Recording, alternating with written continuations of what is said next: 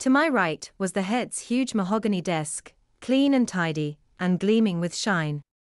Next to the desk were wooden filing cabinets and storage systems. But the featured item was on prominent display behind the desk. Attached to the wall was a large wooden gun case with a glass door. Through the glass, I could see three crook handled canes.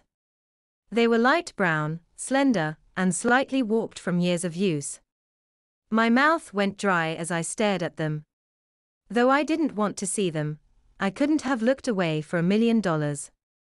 The shortest one was at the bottom.